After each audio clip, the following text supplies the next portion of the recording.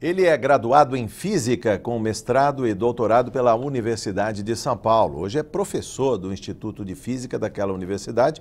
Presidiu a DUSP, Associação dos Docentes da USP, por duas vezes. Foi presidente do INEP, o Instituto Nacional de Estudos e Pesquisas Educacionais Anísio Teixeira, e é autor de livros, entre eles Um Diagnóstico da Educação Brasileira e de seu Financiamento, pela editora Autores Associados. O Arena Livre tem o prazer de receber mais uma vez o professor Otaviano Helene para falar sobre os efeitos da PEC 241, agora a PEC 55 no Senado, a PEC do teto dos gastos e suas implicações sobre o orçamento da educação. Comigo nesta bancada, o deputado Carlos Gianazzi do PSOL. Bem-vindo, deputado Carlos Gianazzi. Obrigado Prazer pelo convite. tê-lo aqui na bancada comigo hoje.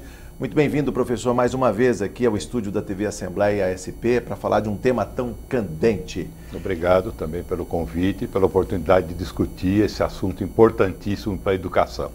Em participação previamente gravada, os deputados João Paulo Rilo, do PT, Marcos Zerbini, do PSDB, Davi Zaia, do PPS, Orlando Bolsoni, do PSB e o deputado Carlos Neder, do PT.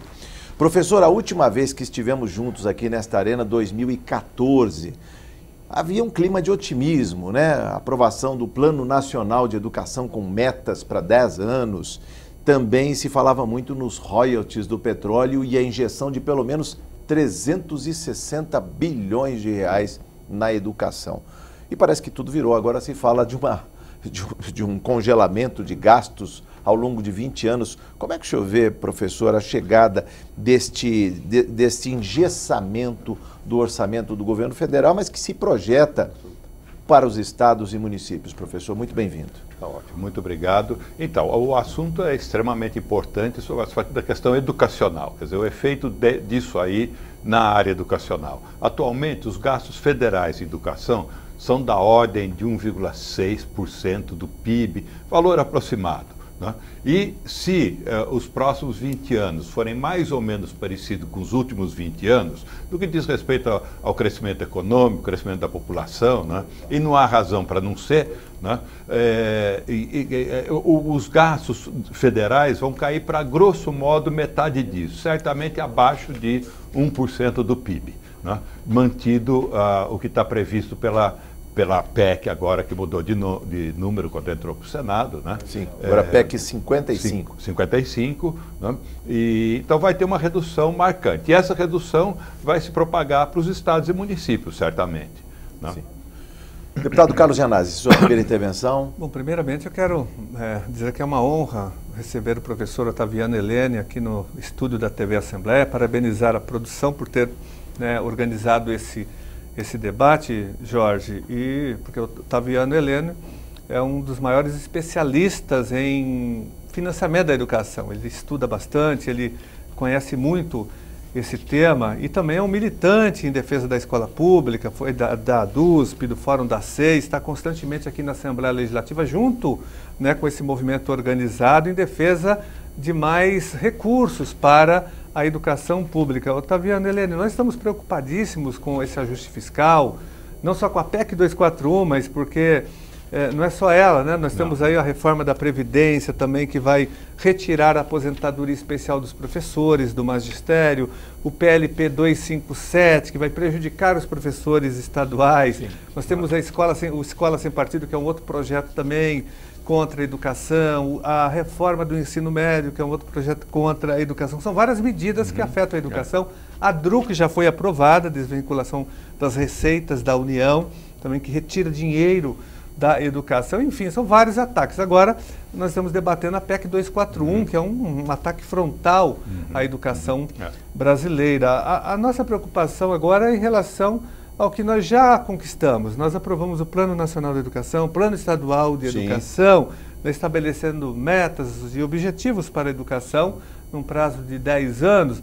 Agora, como que você vê é, o impacto da PEC 241 na consolidação dessas metas? Por exemplo, que o Brasil teria que investir em 10 anos 10% do PIB em educação. Então, na sua opinião, haverá um grande prejuízo, um grande retrocesso também na consolidação das metas estabelecidas em todos os planos de educação, no nacional, nos estaduais, estaduais e municipais? É, exatamente. Quer dizer, o, os, os 10% para a educação, que já é, não eram seguros, os 10% do PIB para a educação, o que já não era seguro, dada a redação e a forma com que ele foi colocado só no anexo do Plano Nacional de Educação e a forma um pouco vaga que ele está colocado lá, que não era uma garantia, agora virou uma certeza que vamos ficar muito longe disso. Uhum. Se o efeito da PEC 241, ou da PEC agora do 55, ela se propagar para estados e municípios, né, os gastos em educação públicos no Brasil, que estão hoje, em 2014, que é o ano mais recente, em 5,0% do PIB, os gastos correntes diretos em educação, 5,0% do PIB, é o dado oficial nacional, ele vai cair em 20 anos para, grosso modo, 3% do PIB que era a nossa realidade na década de 80 ou meados da década de 90. Né? Então, é um projeto totalmente absurdo. Quer dizer, a gente vai retroceder nos próximos 20 anos, nós vamos retroceder 20 anos. Veja, isso é gravíssimo, porque o Brasil é uma dos países da América do Sul ou de toda a América Latina, em termos educacionais, nós somos a lanterninha, o penúltimo mais mal colocado, é, um que tem uma taxa de analfabetismo uma das mais altas, se não a mais alta, dos países da, da América do Sul. Né? É, com essa PEC, qual é o projeto? Piorar ainda mais, né? quer dizer, chegar no último lugar? Né? Esse é um aspecto importantíssimo, né? acho que é a questão educacional. Mas tem as outras também. Né? Por exemplo, a questão de distribuição de renda. A PEC afeta diretamente salário mínimos, projetos, salário mínimo, projetos sociais, rendas mínimas, etc., que vão afetar outra característica negativa muito forte brasileira, que é a concentração de renda. Né? Professor, quando o senhor fala em 20 anos, não parece muito tempo. A gente tem uma cultura do imediatismo, né? Aliás, essa é a dúvida do deputado João Paulo Rilo, do PT, que quer saber dos efeitos imediatos. Vamos ouvi-lo. Primeiro, cumprimentar Otaviano, né, uma, uma grande figura é uma pessoa que nos ajudou muito na discussão do Plano Estadual de Educação, um batalhador, um idealista pelo tema da educação. Otaviano, nós estamos com muita dificuldade em resistir à PEC 241, talvez porque não estamos conseguindo traduzir para a população né, os desastres, os malefícios que ela trará do ponto de vista social, é um esvaziamento do Estado social. Óbvio que o teu foco é educação, mas eu gostaria que você nos ajudasse, que nesse momento é importante resistir. É, como traduzir de uma maneira muito fácil ah, o, o, prejuízo que a PEC 241 ela cria imediatamente, a curto prazo. Porque a gente consegue prever a longo prazo esse desmonte do Estado Social, né, que é a volta do, do Estado mínimo, a volta do, do neoliberalismo no país com força total. Mas eu gostaria que o senhor nos ajudasse a, a, a achar uma linguagem que traduzisse para a população é, o prejuízo da 241 a curto prazo. Ótimo, muito obrigado, Rilo, pela pergunta. Né? É, eu acho que a minha visão é que no curto prazo é difícil de avaliar. Possivelmente o curto prazo vai ser afetado mais pela crise econômica desse ano, do ano que vem, dos déficits de estados e municípios que não estão conseguindo fechar a conta, não exatamente pela pela emenda constitucional. A emenda constitucional é uma ponte para o passado. Quer dizer, como eu comentei agora há pouco, a gente vai voltar para alguma coisa parecida com o que a gente tinha há cerca de 20 anos atrás. Né? Então, estamos é, regredindo é, nesse aspecto. Né? Eu, então, acho que o efeito é realmente a longo prazo, no prazo porque como ele congela os valores a no máximo a correção inflacionária, né? no máximo a correção inflacionária. Né? É, eu insisti em repetir isso porque muita gente está entendendo que será a correção é, inflacionária. É não, no máximo, a redação né, é não será maior do que o IPCA. Né? Então, é no máximo, não há nenhuma garantia que seja corrigido pela inflação. Né? Bom, mas então o, o, efeito vai ser assim do tipo tirar 2, 3, 5%, 4% ano a ano durante 20 anos seguidos da participação no PIB de setores como previdência, saúde, educação, justiça, segurança, infraestrutura, etc, etc. Então, ano a ano vai ser carfado mais ou menos alguns poucos pontos percentuais do PIB. Agora, o grande problema nesse momento é o seguinte: é, quem vai ganhar a disputa nesse momento? Vai ser quem, quem tem o apoio da grande mídia. Porque ah, o que nós estamos dizendo só vai se confirmar daqui a cinco anos. Daqui a cinco anos a gente vai falar, tá vendo? Não dissemos isso? Como já aconteceu várias vezes nos últimos vários cinco anos. Né? Passam cinco anos, a gente fala, tá vendo? A gente falou lá atrás que isso ia dar bobagem, né? E assim por diante. Mas é só a posteriori. Então acho que vai se repetir isso. Né? Infelizmente, né, se isso passar pelo Senado, a gente vai estar numa situação muito ruim. Estamos construindo o passado. Quer dizer, essa emenda constitucional, ela torna inconstitucional o desenvolvimento social do país. Que é o Quer fulcro dizer, mesmo, do seu artigo, não é, professor, é, sobre isso, né? tenha condições objetivas de, de melhorar a saúde pública, a aposentadoria, a inclusão social, a educação, a universidade, a ciência e tecnologia, mesmo que haja condições objetivas disso, a PEC proíbe constitucional. É o único país do mundo que tem na sua Constituição uma norma que diz o seguinte: está proibido o desenvolvimento é, social e cultural do país, né, mesmo que as condições materiais objetivas permitam. Quer dizer, que, ah, me parece um absurdo total, né, mas é isso que está acontecendo. Deputado Carlos Gianaz, quer um comentário Eu sobre isso? mais uma pergunta, professor, em relação. Nós conquistamos na Constituição Federal de 1988, a, na Constituição Cidadã, né, os percentuais mínimos em educação e saúde. Em educação, é. o governo, a União tem que investir 18%, estados e municípios 25%, ou que constar em cada lei orgânica ou constituição Isso. estadual. De que forma a PEC afeta esses mínimos é, constitucionais, os 18 da União e os 25 dos estados e municípios? Como que funcionaria afeta, isso na prática, né? Ela afeta diretamente, né, Janase? É, obrigado da pergunta. Ela afeta diretamente, porque ela diz o seguinte: a partir de 2017, aquilo que estava no caput do artigo, agora não me lembro qual o número do artigo da Constituição, que fala dos 25%. De, no mínimo para educação e 18% da arrecadação. Que aqui em São Paulo é 30%, hein? Aqui em São Paulo pela Constituição é, estadual. estadual. Pela estadual. Constituição estadual. É. Mas a Constituição Federal pela PEC, o primeiro artigo é exatamente é falar a partir de agora isso não vale mais. É. Está escrito isso, não vale mais. A partir de agora vai ser corrigido apenas pela inflação, pelo IPCA, no máximo pelo IPCA. Veja, a redação Claro que nó em pingo d'água se Sim. consegue. A redação, não, a redação, não, é modificada, né? Mas é, na verdade é no, no ela diz que não vai valer Sim. esses mínimos. A partir de agora, não vale o que está previsto no caput do artigo. O caput do artigo fala nos 18% da União e nos 25% no mínimo de estados e municípios.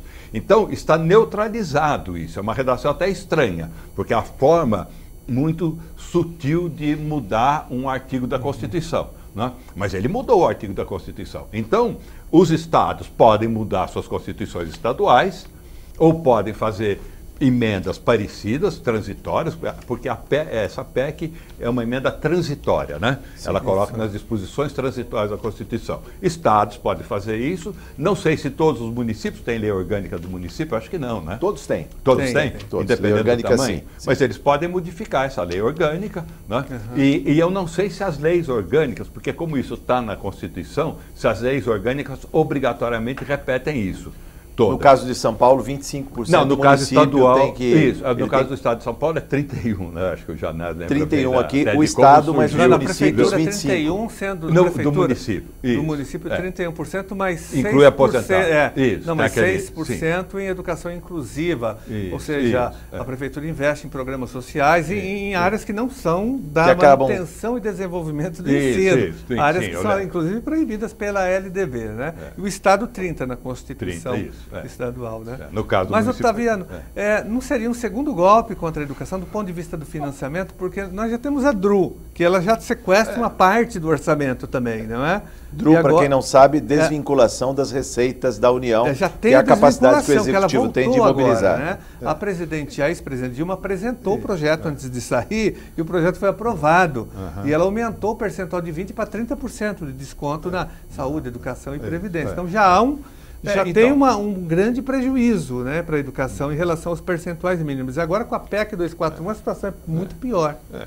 Eu, eu, não é. sei, pois é, se é muito pior. Quer dizer, ela está definida, esse conjunto de legislações que a gente vê, tem a, também a, a lei complementar 257, se eu não me engano, que é o que transfere para municípios e estados uhum. é, limites de gasto, proíbe contratar, etc., que no fundo é um pacote é. todo né, que congelam os gastos sociais, os gastos públicos no Brasil. E veja, aproveitando, os gastos públicos no Brasil, o total dos gastos públicos da União, dos estados e dos municípios no Brasil e do Distrito Federal dá mais ou menos 35% do PIB. 34, 35.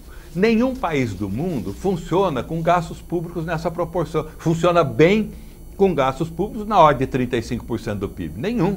Os que têm um sistema público que funciona adequadamente, sejam países ricos ou pobres, industrializados ou não, o setor público gasta 50% do PIB. Pelo menos metade do PIB. Pelo menos metade, ou mais. Quer dizer, na verdade, no Tratado de Maastricht da União Europeia, o combinado foi que eles convergissem para 50% do PIB, porque alguns deles gastavam muito mais de 50% do PIB. Mas eu acho que atualmente nenhum gasta menos que 50% do PIB. Nenhum conseguiu convergir ainda para o que se exigia. Né? Mas era um padrão para o longo prazo. Né? Então, todos os países gastam mais do que isso. Se o país gasta mais 50% do PIB, tem uh, um sistema público de, de, saúde, educação, segurança, justiça, infraestrutura, habitação, transporte, etc., etc., que funciona bem. Mas, Se não gasta, não, não tem, é impossível. Mas, professor, tem, por conta é, desses gastos, não há um desequilíbrio, ou seja, esse ano já se falava num déficit de 170 bilhões de reais, ou seja, que foi projetando e alargando a dívida que podia chegar a níveis assustadores, 70%, 80%, para a realidade brasileira. Mas sobre isso, vamos ouvir a questão, a pergunta, a consideração do deputado Marcos Zerbini, do PSDB. Vamos ouvi-lo. É, na verdade, é, é, é um mal, vai, vai, vai tirar sem dúvida nenhuma, vai criar problema, mas é, cria um problema maior não fazer isso. Porque se você não limita o gasto público, você acaba criando um ar de instabilidade, de falta de credibilidade do governo. Isso foi causado por uma administração desastrosa feita até agora. Então você precisa mostrar de novo para o mundo que o Brasil é um país sério, que os gastos estão controlados e que eles têm um limite de endividamento. É, comprovar isso para o mundo, eu acredito que traz um benefício maior do que o mal que causa. Por quê? Porque retorna dar de novo credibilidade para o país e isso faz com que investimentos voltem a acontecer e a economia possa voltar a crescer. Se isso não for é, feito, se não for adotado medidas desse tipo, nós não recuperamos a credibilidade e isso causa um dano ainda maior para o país. Sua visão, professor? Pois é, o problema é o seguinte, quer dizer, quem vai pagar a conta que ele está discutindo, né? é, veja, a gente está, tudo bem, o déficit é de 170, 150 bilhões esse ano. A sonegação é de 500 ou 600 bilhões de reais. O site Sonegômetro, que inclusive é bancado por várias entidades, vamos dizer assim, ligados a tendências partidárias de vários tipos, mais até a, direita, e por, por associações de vários tipos, eles mesmos reconhecem a sonegação de 500, 600 bilhões de, de, reais por ano. E quem quer pagar a conta é o aposentado, é o estudante, é o pensionista, é o aluno da rede pública, que já está com uma escola alt, altamente precária, o, é o cara que está na fila do SUS esperando o remédio em casa e o remédio não chega, é o, é o transporte. Quer dizer, o problema está em discussão que é, se, se eh, preferiram manter a sonegação desses patamares brasileiros. As alíquotas de impostos brasileiros são baixíssimas quando comparados com outros países no mundo. A nossa alíquota máxima de imposto de renda, 27,5%, é muito menor do que a, mesmo do que a dos Estados Unidos, onde a federal, lá nos Estados Unidos, tem imposto de renda federal estadual e em alguns municípios municipal. Então, um bilionário em Nova York, ele vai pagar os 40% de imposto de renda federal, os 10 ou não sei por quantos por cento estadual e mais o municipal que eu não sei quanto é. Então, mesmo num país que é tido como exemplar do liberalismo, etc., o imposto de renda, a alíquota máxima é o dobro da nossa, ou perto disso. A mesma coisa dos países europeus. O nosso imposto sobre herança é ridículo. Quer dizer, o imposto sobre herança aqui é no máximo 4%, aqui no estado de São Paulo. É no máximo, porque essas coisas são calculadas no valor é, venal de imóveis e, e não tem realmente um controle, então a sonegação é muito grande, etc. Então a questão é o seguinte: o que nós preferimos aqui no Brasil? manter essas alíquotas baixas de imposto, conviver com a sonegação, não ter imposto sobre patrimônio, sobre grandes fortunas, sobre herança, como qualquer país organizado tem, né? é, e preferimos sacrificar educação, saúde, moradia, transporte, etc. Isso é um absurdo, me parece. Jorge, só absurdo. queria Por favor, concordar, lógico, professor Otaviano e discordar do deputado Marcos Zerbini, é, porque existe uma crise econômica que não foi produzida pelos trabalhadores, pela população, ela foi produzida pelos governos, pelo capital, enfim, pelos bancos, não foi produzida por nós. Então, o professor colocou muito bem, nós temos que buscar outras saídas, não penalizando áreas sociais como educação, saúde e previdência, mas sim taxando as grandes fortunas, as grandes heranças, fazendo auditoria da dívida pública, que é importante, como reza a Constituição Federal, nós aprovamos um artigo na Constituição obrigando o Brasil a fazer uma auditoria da dívida pública. Nós temos que mexer nesse vespeiro, eh, nós temos que cobrar a dívida ativa, que é monstruosa. Sim. Você falou na sonegação de 500 e poucos bilhões por ano, por de reais, mas a dívida ativa é maior ainda do que isso. Nós acompanhamos a dívida ativa aqui do Estado de São Paulo, ela é superior ao orçamento de 2000 e 16, o orçamento é, do, é de 206 bilhões. 206 bilhões, a nossa dívida é de 250 bilhões de reais e não é cobrada. Né? Imagina a federal. Então nós temos que cobrar desses setores e não da população que já paga historicamente essa dívida há milhões de anos, com a superexploração, a mais-valia, né, a, a, a, a, acumulação capitalista. Nós já estamos pagando há muitos anos. Então, é, eu acho que aí essa é a questão colocada hoje. A crise não pode ser paga por nós e principalmente por áreas estratégicas como saúde e educação. Professor, haveria alguma alternativa à PEC? Eu leio aqui a consideração da professora Cristina Mello que fala em reduzir as despesas com juros. Em 2015, nós gastamos 367 bilhões com o serviço da dívida. Aliás, este é o tema ah, trazido aqui a esta arena pelo deputado Davi Zaia, do PPS. Vamos conferir. Olha, acho que a PEC é uma necessidade no momento que o Brasil passa. Nós vivemos um desequilíbrio nas contas públicas, né? nós temos já três anos de recessão no país, nós temos uma dívida pública que cresce é, significativamente em relação ao PIB e em relação à nossa receita, o que faz com que, mesmo com toda a recessão que nós estamos vivendo, é, a inflação é, seja controlada, mas nós mantemos uma taxa de juros das mais altas do mundo. Justamente porque nós temos esse desequilíbrio e um crescente é, aumento da dívida o controle do gasto público vai permitir um horizonte de a gente controlar o crescimento da dívida, ter a redução dos juros. Com a redução dos juros, diminui o gasto com o próprio pagamento dos juros, a dívida se contrai e nós temos uma nova perspectiva.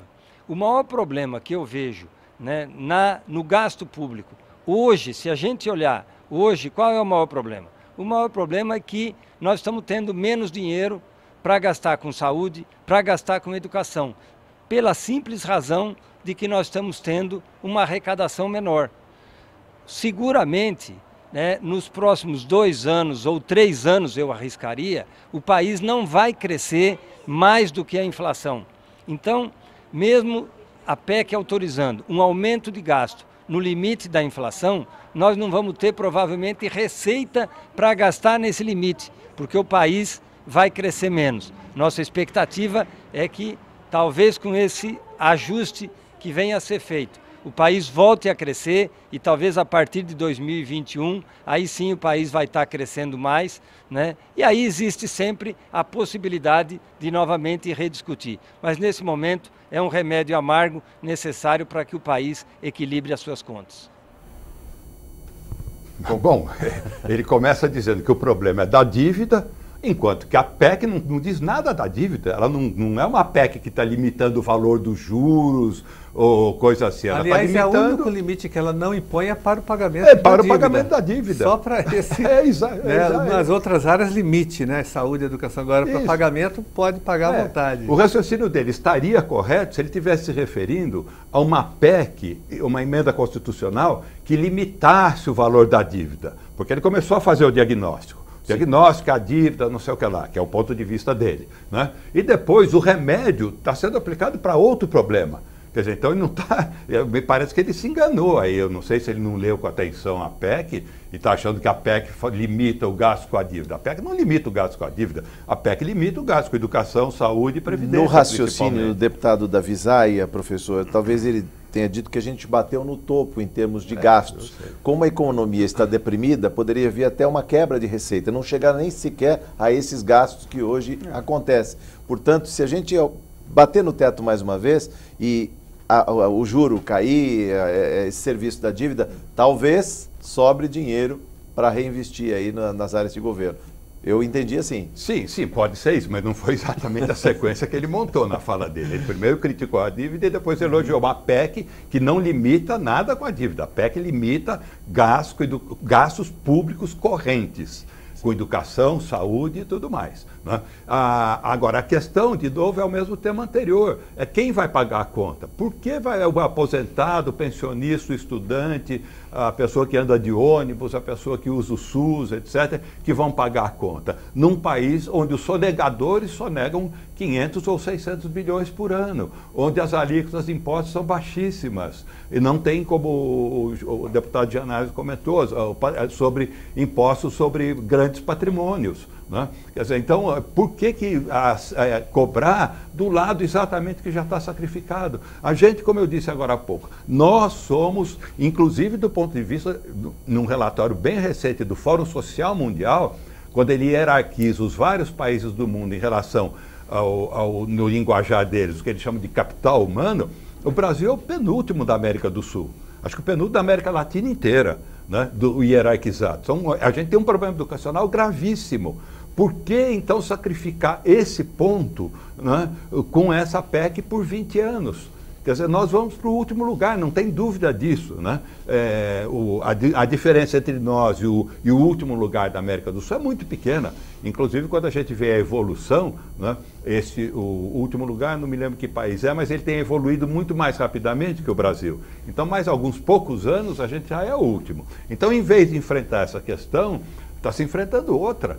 Então, não dá para entender. O problema é um e de repente a que aponta para o outro lado. Ela não vai resolver esse problema, ele vai agravar esse problema. Agora, essa discussão, a gente só vai comprovar que a nossa interpretação da realidade está correta daqui a cinco anos.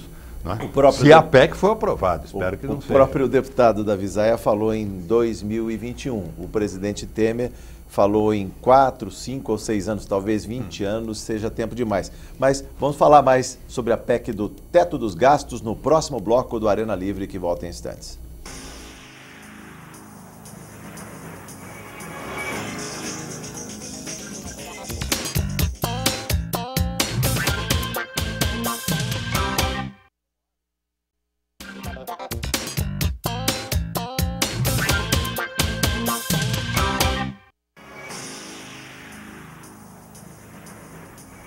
Estamos de volta no Arena Livre, hoje conversando com o professor Otaviano Helene, da Universidade de São Paulo, sobre a PEC que impõe teto aos gastos. Professor, no intervalo falávamos aqui sobre a possibilidade do país voltar a crescer. Já há uma sinalização do Banco Central de redução da taxa de juros, claro, muito tímido, né? uma redução de 0,25, juros caindo para 14%, que ainda é alto, altíssimo.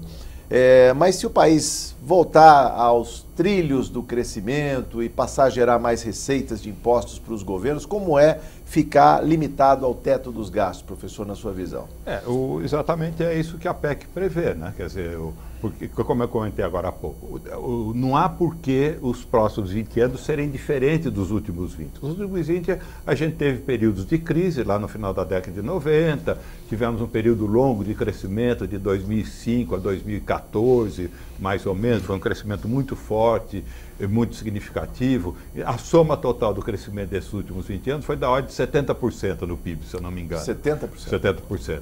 Então, acho que até uma conta que a Folha de São Paulo, há uns dois, três dias, mostrou uns diagramas de como evoluiriam ah, os números nos, últimos, nos próximos 20 anos, supondo um crescimento do PIB de 2,5% ao ano, que foi mais ou menos o crescimento que teve nos últimos 20 anos. Né? Ou seja, ela fez exatamente a hipótese: se os próximos 20 anos forem parecidos com os últimos, o que, que vai acontecer? Né? E, e, daí ela conclui que a participação da educação no PIB de 1,5% a 1,6% vai cair para 0,8% do PIB no gasto federal. E é uma reversão, professor, em termos de expectativa, porque nesse Sim. crescimento dos últimos 10 ou 20 anos, como o senhor falou, é, também houve um crescimento maior das despesas é, sociais, vamos dizer assim, em relação ao PIB. Houve um incremento da, dos Sim, investimentos. Houve, de fato. Houve um aumento, como eu comentei. O Brasil arrecada hoje 35% do PIB, gasta 35% do PIB. Sim. Todos os governos com educação, saúde, previdência e recolhe na forma de impostos, taxas e contribuições sociais mais ou menos 35% do PIB. No passado, no meados da década de 80, no final do período da ditadura, quando veio a, a última fatura do, da ditadura, a fatura econômica, a gente estava gastando da ordem, governo, os governos brasileiros, da ordem de 20 e poucos por cento do PIB. Quem se lembra daquela época era uma absoluta calamidade, a invasão escolar altíssima, é, as crianças, eu não, não me lembro mais de cabeça o número, mas certamente a, a, não chegava a 50% das crianças, não completavam o ensino fundamental. O negócio era uma absoluta calamidade. Né?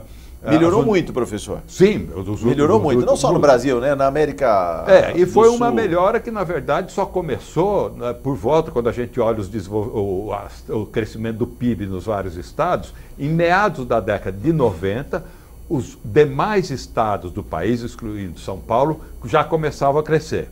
São Paulo só começou a crescer a renda per capita do paulista por volta de 2004, 2005.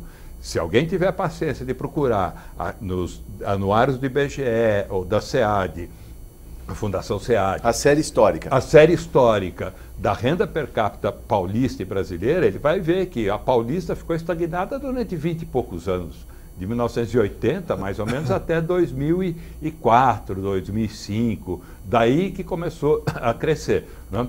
Então, é, voltando à questão inicial, se aos trancos e barrancos, nos últimos 20 anos, o, o, país cresceu. Se nos próximos 20 ele crescer do mesmo jeito, como mostra inclusive esse, a, essa matéria da Folha de São Paulo, a, a participação no PIB, por causa do congelamento na educação e saúde, vai, pra, vai diminuir muito a participação do PIB de recursos federais. Como isso vai se propagar para estados e municípios, vai afetar estados e municípios também. Né? Deixa eu só também fazer a seguinte observação. Veja, não sei se alguém fez esse raciocínio.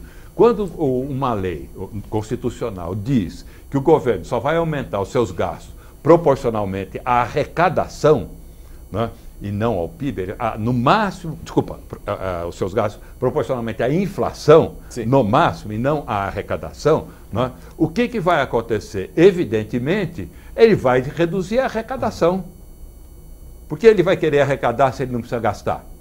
Se ele falar, olha, você só vai gastar a partir do ano que vem 1% do PIB em educação, por que, que ele precisa arrecadar mais, o valor maior do que isso? Mas não traz é. mais realismo também as peças orçamentárias? Eu lembro aqui um artigo Mas o que do que professor, ele vai fazer com o dinheiro adicional do professor Delfim Neto, quando fala que nos últimos 30 anos, 30 anos não tínhamos orçamento, ou seja, se projetava em cima do orçamento anterior uma estimativa de, de receita e em cima daquilo se promoviam os gastos, professor. Como é que o senhor vê esse argumento? Não, mas veja, nos últimos anos, depois da, da Constituição de 88, que gerou uma série de direitos, esses direitos foram implementados paulatinamente, por exemplo, o SUS. O SUS é de 1988, uma Sim. grande conquista na área de saúde. Né? Quem lembra antes do SUS só tinha direito à saúde pública se você fosse trabalhador com carteira é. assinada. Né? Então você excluía, aí, sei lá, dois terços da população do sistema de saúde. Então o SUS passou a, a exigir dinheiro a, a inclusão do trabalhador rural, a renda mínima para quem não para quem é deficiente, é, que tem uma que não tem é. renda, tem a uma lei renda da assistência mínima, social, a, da assistência social, agora mais recentemente Aí entra a bolsa o princípio família, do, da seguridade social, a, toda né? a seguridade social, por saúde, sim. assistência social e previdência. E, a, e previdência, tudo isso, muitos direitos surgiram a partir daí. Né? Então, isso tudo passou a demandar recursos públicos. E houve um aumento da arrecadação. Como passamos de 20 e poucos por cento do PIB lá em meados da década de 80 para cerca de 34, 35% nesses últimos anos. E a parte grande do aumento foi inclusive na década de 90, né? no, no período pós-real. Né? Então teve um aumento no pós-real por causa das contribuições sociais, basicamente, e nos últimos 10, 15 anos, por conta do crescimento econômico no lado formal da economia. Quer dizer, a economia cresceu, mas cresceu principalmente do lado formal. Então, o lado formal paga imposto, tem taxas, contribuições, etc. Mas o, então houve esse crescimento. Precisa mais, não cabe em 35% do PIB o que o país precisa, está claro. Então nós precisaríamos, a rigor, adaptar as alíquotas de imposto para um número mais, para valores mais realistas, copiando mais ou menos o que os países organizados fazem. Coibir a sonegação? Coibir a sonegação, né? ah, parar com a sonegação, inclusive sobre heranças e doações. Né? É, impostos, como o Janais colocou agora há pouco, sobre grandes fortunas, que inclusive já tem uma lei federal que cria a figura uhum. do, do, imposto, só não foi regulamentada. Né? Então precisa achar recursos para dar conta disso aí. Né?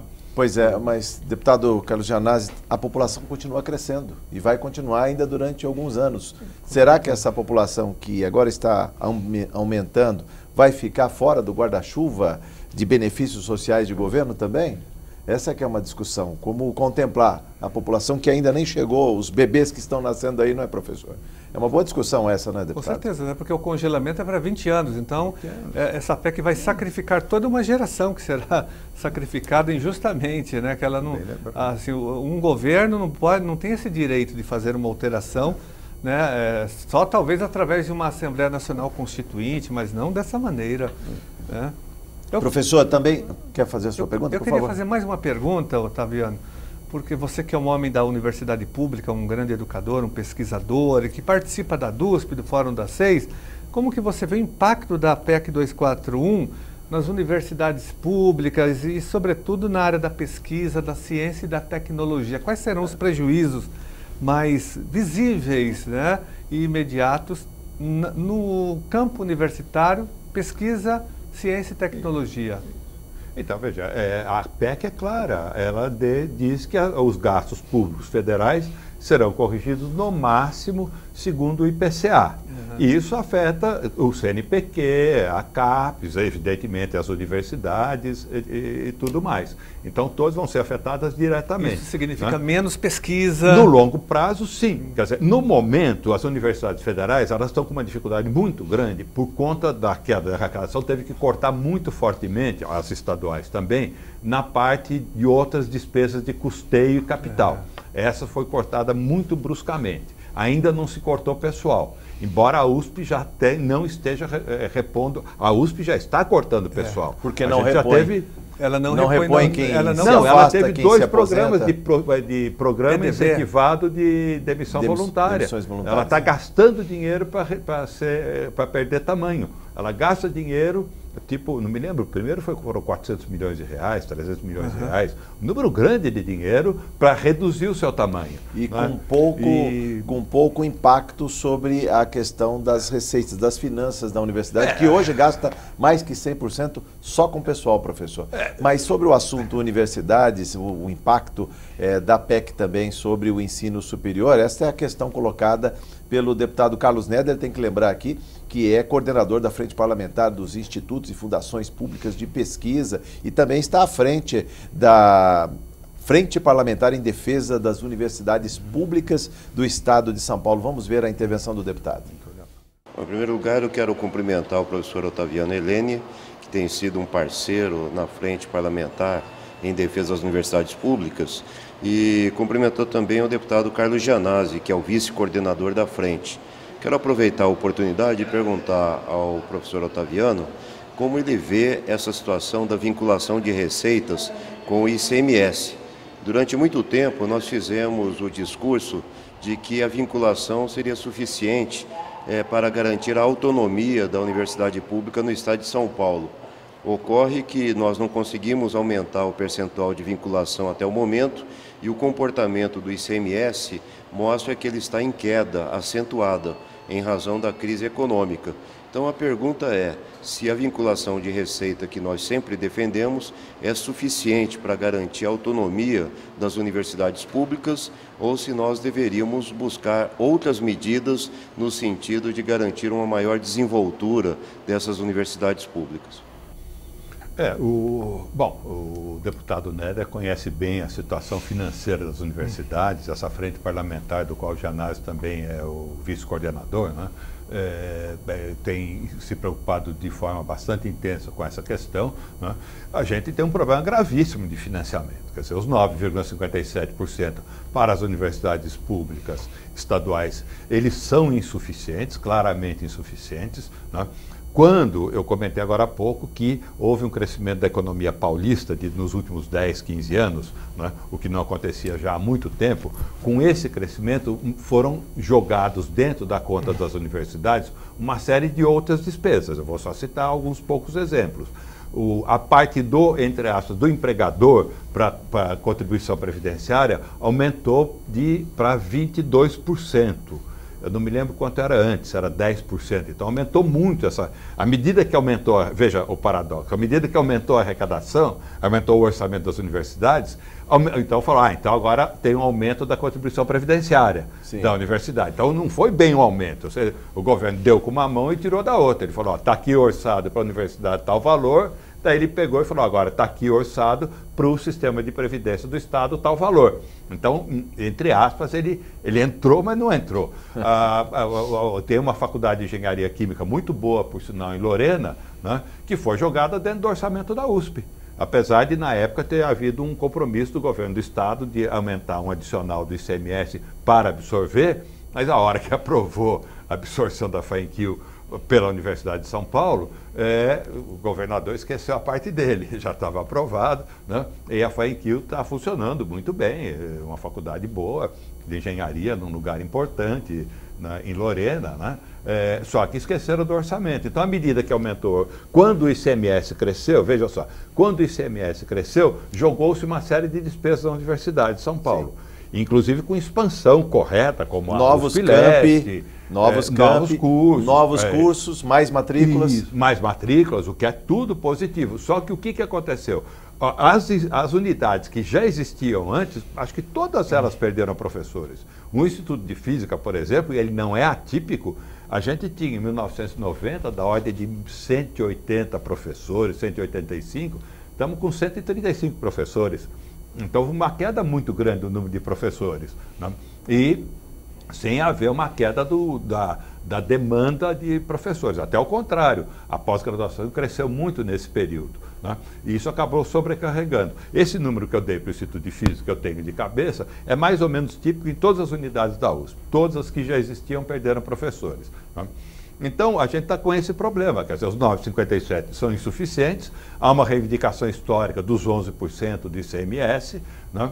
É, como há uma reivindicação histórica que, é, que as universidades defendem, as entidades das universidades defendem, de aumento dos 30% constitucionais para a educação, não, aumento para pelo menos uns 33%, mas não seriam suficientes. Tem um problema muito maior de arrecadação. Não? Agora, deixa eu só observar o seguinte ponto muito importante, que às vezes as pessoas se esquecem. O Estado de São Paulo, ele tem uma política explícita de ausência do setor público na educação superior. O Estado de São Paulo é o mais privatizado de todo o país. Né? E isso não é por, por coisas... Isso considerando da... o número de matrículas em universidades públicas e privadas? Isso, qualquer... isso, esse é um critério. Se a gente considerar o número de universidades matrículas nas instituições públicas, não só a universidade, porque entra Sim. o Centro Paula Souza, entram as duas faculdades isoladas, Sim. estaduais, etc. Em todo o sistema de ensino superior paulista, a gente tem uma taxa de privatização, comparando então alunos na instituição privada e em instituições públicas, muito maior que o restante do país. No estado de São Paulo é grosso modo 90% do alunado tá, tá, estão em instituições privadas. No restante do país é grosso modo 70%. Então, é, a, a, a, ausência do setor público aqui é muito maior. Mas também não é o único critério. Se você comparar matrículas no ensino público superior com a população do Estado, porque o cara podia argumentar, ah, não, mas o Estado é porque tem. É, é Aí a dívida é maior ainda. Mas não, o é. povo é, paulista. De novo, é a mesma proporção. Eu não tenho esse número de cabeça, mas a proporção de matrículas em relação à população, matrículas no setor público em relação à população no estado de São Paulo, é bem mais baixa do que nos outros estados. E veja, é o estado em que a economia é a mais, vamos dizer assim, pujante, pujante seja Sim. lá o que significa isso em economia. Deputado Mas o, só, não, só a última coisa. E mesmo em relação a concluintes do ensino médio. Aqui o Estado de São Paulo tem uma vaga de ingresso no ensino superior para cada cinco ou seis concluintes do ensino médio. Nos outros estados é muito ruim, mas é muito menos ruim que São Paulo. Acho que é um para três, uma vaga para três. Então a gente está pior por um fator quase dois. Né? Então é preciso levar isso em conta.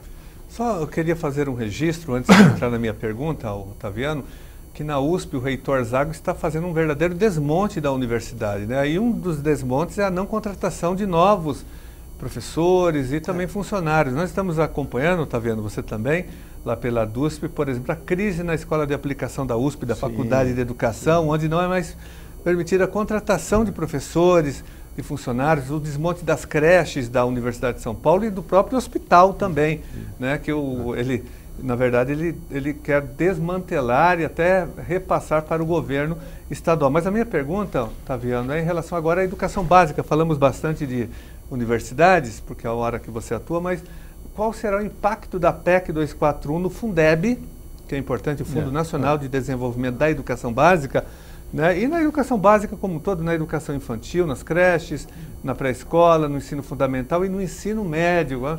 porque Fundeb financia né, a educação básica. Qual será o impacto agora na, no orçamento do Fundeb? Então, veja, Jonas, eu não sei de cabeça qual é o repasse federal do Fundeb. Porque o Fundeb, na verdade, é aquela redistribuição dos Isso. gastos em nível estadual é um fundo e municipal contábil... e mais um adicional do, do governo federal para eh, estados onde o Estado não consegue bancar aquele valor mínimo definido por lei. Então, não sei qual é o valor do repasse, mas é um ponto importante. Eu não sei, talvez esteja na casa atualmente do que uns, alguns 5 bilhões. É. Pode ser, eu não, não sei se você eu tem. Eu não um tenho os dados. Eu não tenho é, esse número também. Mas é, são alguns bilhões, não é nenhuma fortuna enorme, mas são vários bilhões, principalmente para os estados e municípios mais pobres, Isso. que são os beneficiados. Né? Os estados e municípios em que a distribuição interna é suficiente para para atingir o valor mínimo, não que seja suficiente para bancar o sistema educacional, mas ficar acima do valor mínimo, esses não recebem repasse federal. Mas o Fundeb vai evidentemente ser afetado. Está aí uhum. na PEC 55, na emenda constitucional 555. Está previsto lá a, a redução do, Está dito com todas as letras, vai diminuir o dinheiro para educação, saúde, previdência, infraestrutura, etc. E como Justi... cumprir, professor, o Plano Nacional de Educação? Se eu estou ali reduzindo o Fundeb, aliás, a meta está 17, valorizar profissionais do magistério em redes públicas de educação básica de forma a equiparar o seu rendimento médio aos demais profissionais com escolaridade equivalente, professor. Quer dizer. É, não vai, é evidente. Isso, aí tem uma crítica que a gente fazia na época, que é o seguinte: isso está em anexo da lei.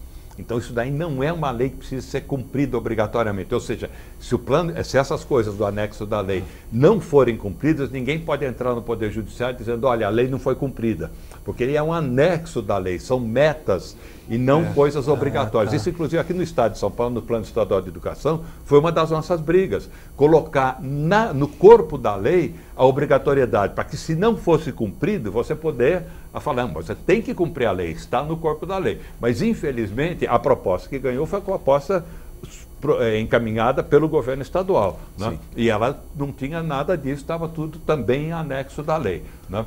Então, ela. Desculpa explicar só um pouquinho. Então, ela não é uma obrigatoriedade. Agora, de qualquer forma, a resposta é não será cumprida. É evidente que não será cumprida. É. Não há dinheiro para isso. A PEC está dizendo que não haverá dinheiro para isso. Com todas as letras, não tem dúvida da redação. Se não há dinheiro federal, a tendência é empurrar para os estados e para os municípios. Essa é a preocupação do deputado Orlando Bolsoni do PSB com relação ao planejamento dos municípios e a PEC do teto dos gastos. Vamos conferir.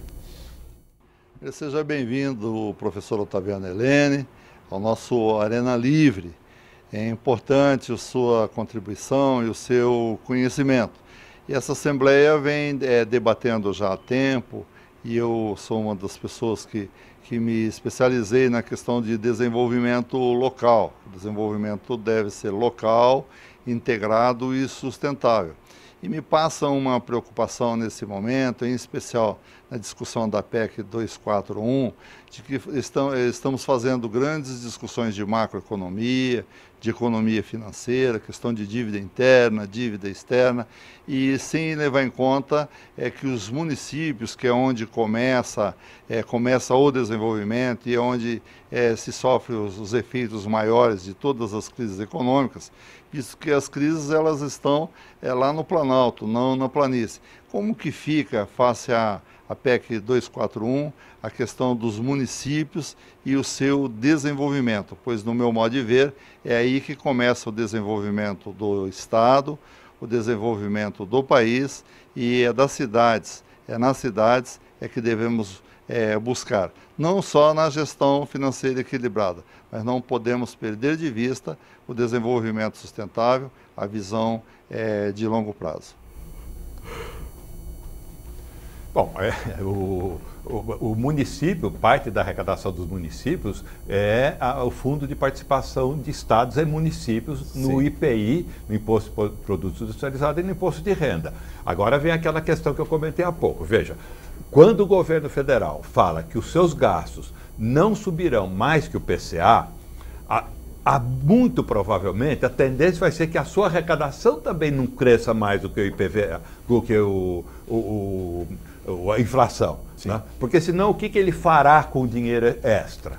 Né? Inclusive mesmo porque as pessoas que estão hoje no controle do governo federal, eles têm um perfil liberal, ultraliberal. Então o raciocínio deles, eles são explícitos em dizer isso, é o seguinte, é deixar para o setor privado.